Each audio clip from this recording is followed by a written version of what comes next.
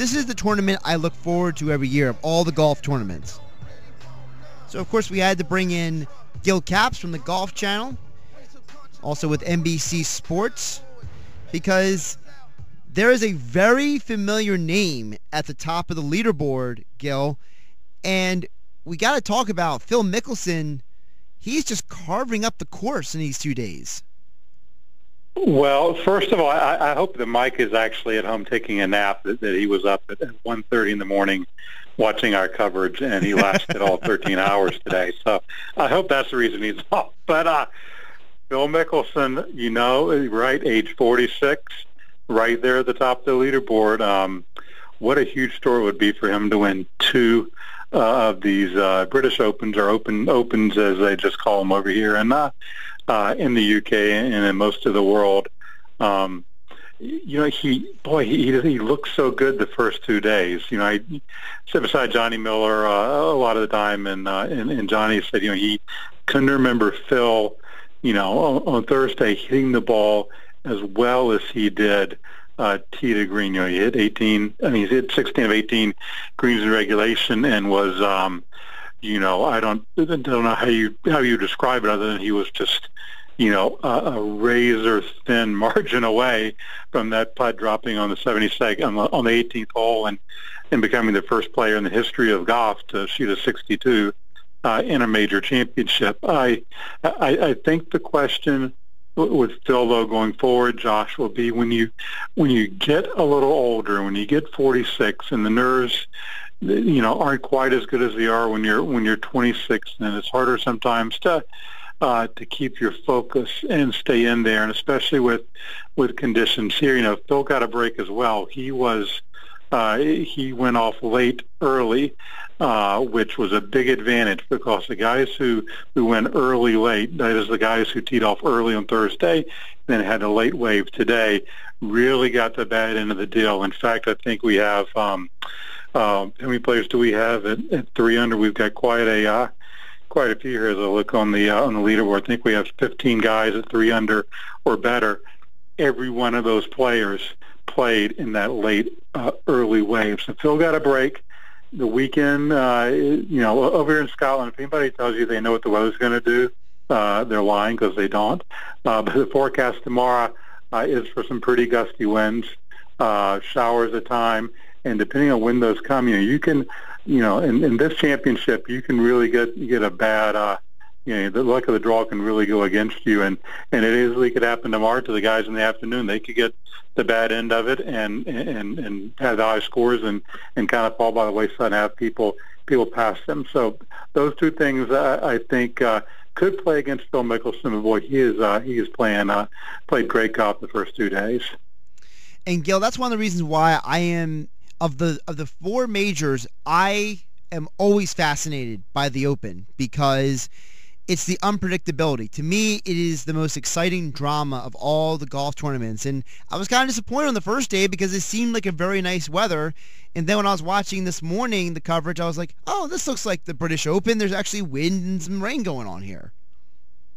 Well, of course, this is going to be our first uh, first Open Championship broadcasting on uh, uh, the entire ter- entire event on uh, Golf Channel, then here on NBC uh, in the weekend, starting at, at seven o'clock uh, here on the weekend, Saturday and Sunday, and and I think a lot of our folks are experiencing the same thing. I, I think you know variety is a spice of is a spice of life, and these days where you can get one day where you can go low and you can you can see lots of birdies and and see great things happen. Have somebody shoot a 63, and then you could you can turn around and 24 hours later, you know, you're having guys struggle to break break 40, uh, you know, in the inward nine.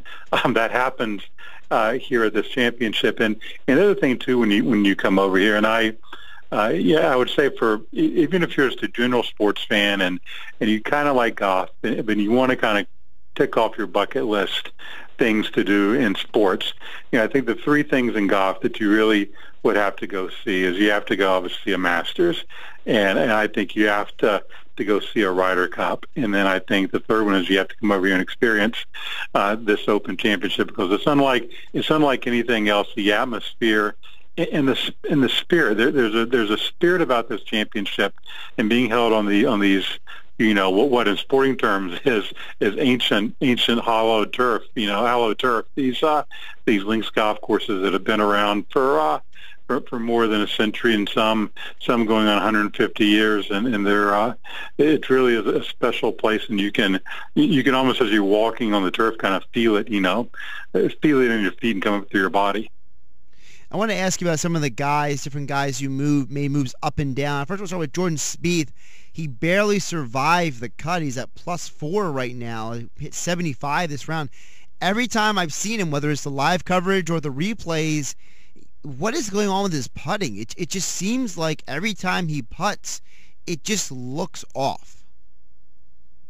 You know, there's uh, I'll say two things with, with, with Jordan. And first of all, is the tee green is is for him as well. I mean, he, uh, he's really played poorly today, uh, tee green, and and he's really been inconsistent this year with that that facet of his game. You know, last year he, you know, his wedge shots and his short irons. I mean, he was always around the hole with a makeable birdie putt, and, and and that happens, and you get confidence to start rolling them in. And so when you don't hit greens and you constantly put pressure on yourself to make putts, that that becomes a big problem. But the other thing too is when guys come over here and they're used to playing uh, PGA Tour greens, which which are usually pretty smooth, pretty true, and, and pretty fast, and usually running uh, on the Stimpmeter, you know, 11, uh, 12, uh, et cetera, um, on a weekly basis. Um, and you come over here to this championship, and, and the, look, the greens this week, I mean, they are perfect, but they're slow compared to what most of these players are used to. And so that takes uh, a little bit of an adjustment. And, you know, some guys, actually, when they come over, they do. They struggle with that. Uh, a couple of the guys who have stood out to me with their play so far. Because, like I said, to me, this is the one tournament I I am always into. Because, like I said, I, I, always look forward to the craziness and the wildness. Uh, uh, the major jumps by uh, Henrik Stenson and Charles Schwartzel. I mean, they were, uh, you know, they weren't really considered to be guys who you thought were maybe going to do much after the first round, but then the second round I mean, Schwartzel went for a 66 and Stenson had a 65. What uh, what do you think led to their turnarounds here? You know, th- th- this is a a course I think that really favors a guy like Henrik Stenson. And, and historically, let's look at this at Troon. Six consecutive Opens here have been won by Americans. That that's uh, never happened, never even close to happened before in any one course on this road of courses they play over here. And I think one of the reasons is this is it is almost like an American style golf course, kind of a tee to green. It really rewards ball striking. These are the smallest greens on the uh, on the open rota, and now you're talking about even though he's not an American, but Henrik Stenson fits that prototype. I mean, he is uh, one of the top, you know, you can argue three ball strikers uh, on the PGA Tour in the last last five years.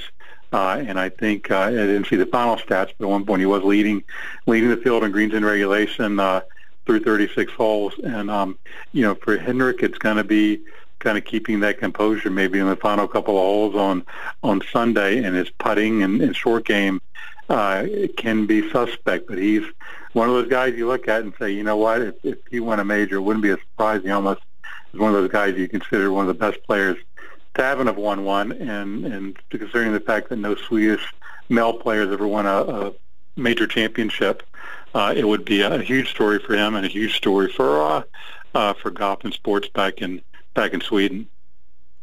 Couple Americans who are uh, on the leaderboard right now: Zach Johnson and Dustin Johnson not doing too bad. You would think that Dustin Johnson may have been playing a little bit better considering he's coming off the high of winning the last major. And Zach Johnson uh, doing another good job on the foreign course. I tell you, he is right there. I mean, he's right there at five under, and he played uh, played really well yesterday and, and hung in there today as uh, as toward the end of his round the conditions started to uh, started to get worse. You know, he you, you, win one of these. That's the other thing. When you win one of these these major championships, Josh, I, I think you get the sense that you're playing with house money. And, and and and on the weekend you've already won one. You have nothing to lose, and I think that takes a little bit of the pressure off of you.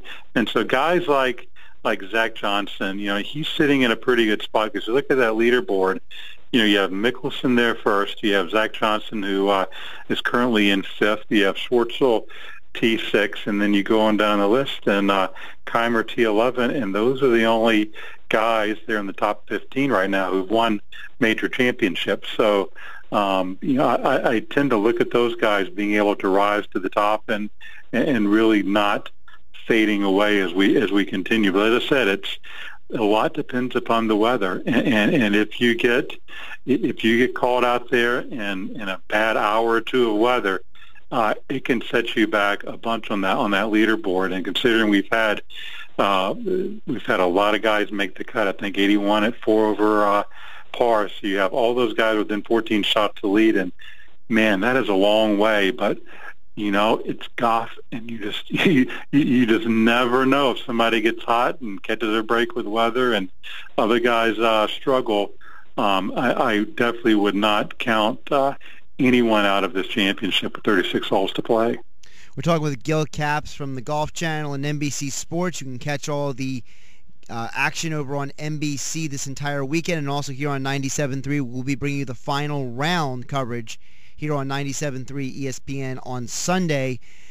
One of the guys on the list that stood out to me during your guys' coverage, you guys showed a graphic about Sergio Garcia about the fact that he is now climbing up the list of most majors started, and he still hasn't won one. He's tied for six overall.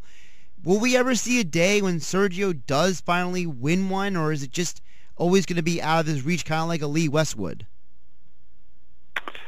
Uh, that's the uh, the million dollar question for, for Sergio, just as it's been for other players. Uh, you know, that was a big question about Dustin Johnson, and and he, you know, finally got I think a break at the U.S. Open. You have to have some breaks go your way as well, Josh, to to win these things. And and I think like with the DJ, you know, he got a break that other guys around him weren't playing well, and that was I'm not going to revisit that huge controversy about right. about that ruling as ball moving, but but I, I do think in a sense for him it wouldn't have been for almost any other player on tour, but for him that was an advantage.